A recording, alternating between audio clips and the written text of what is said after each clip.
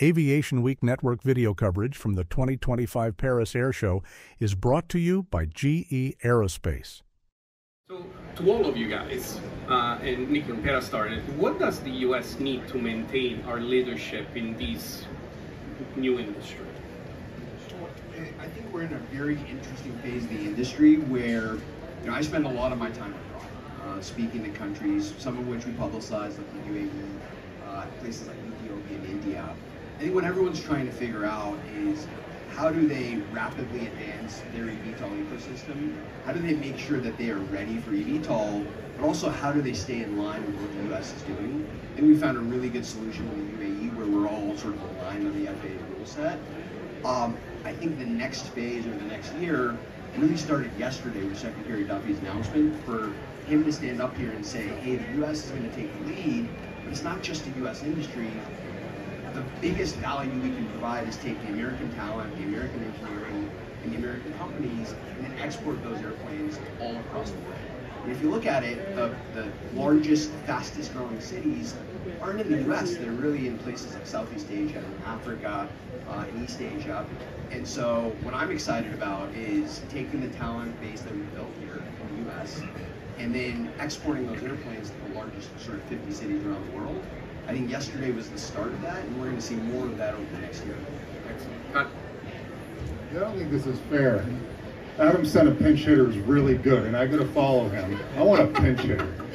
I, am an engineer trying to trying to answer these questions.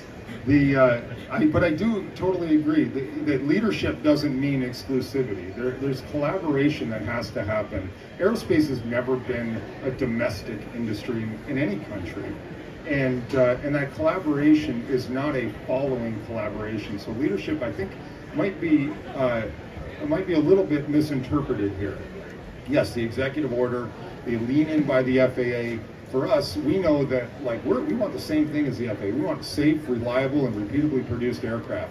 The, the, the, the FAA right now recognizes that, and that allows us to move at pace. That's really important.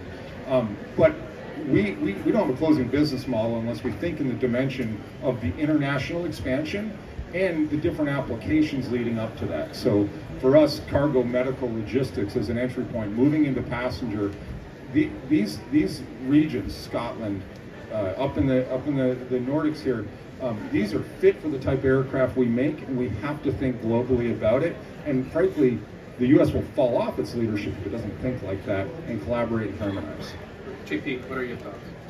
we think uh, American is important. Uh, this is a multi-trillion dollar industry. It's, an, it's a disruptive industry. Uh, and as our supply chains are being reshored, uh, you know, Ohio wants to lead in the production test. There will be very natural ways that these type, these companies, these innovators are going to need to collaborate on advanced composites, on power and propulsion systems, and that type of work historically has been done in Ohio. It continues to be done in Ohio. We have one of the largest manufacturing workforces in the world, one of the most productive in America. Uh, we're an affordable state, uh, and we've leaned into investment in advanced air mobility to what we call this is a super sector. It's a massive sector, uh, and, and this, like energy, artificial intelligence, America needs to lead, needs to be successful, and these vehicles will be built, tested, envisioned, and maintained right in the heart of it all in Ohio. So we just need to stay competitive in all those domains. Thank you. Sebastian.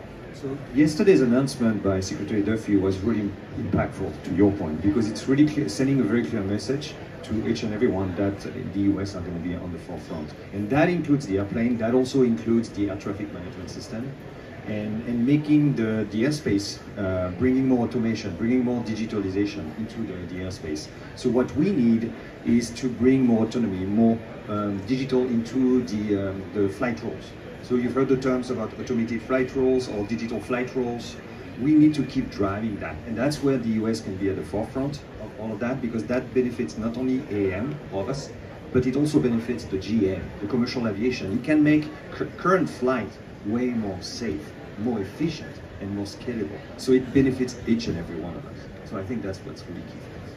Thank you. JoeBen, take it on for Yeah, uh, building on that, I think, uh, as Sebastian talked about, as we uh, bring in digitalization, as we leverage the incredible capabilities uh, of uh, autonomy, of electric propulsion, as Kyle talked about, and the economics of electric propulsion, uh, as we uh, bring in the time savings that you get with vertical takeoff and landing. This is an incredibly exciting time in, in aviation, and the demand uh, from cities around the world is really unprecedented. And that's why we need to lean in and really scale as rapidly as possible. And that's why states like Ohio, where uh, Ohio has one of the deepest and highest quality uh, employee bases and uh, the, the technical uh, capabilities, the, the workforce, workforce training is just absolutely spectacular. And uh, so we're, we're very, very grateful to be uh, scaling our manufacturing uh, in partnership with Jobs Ohio.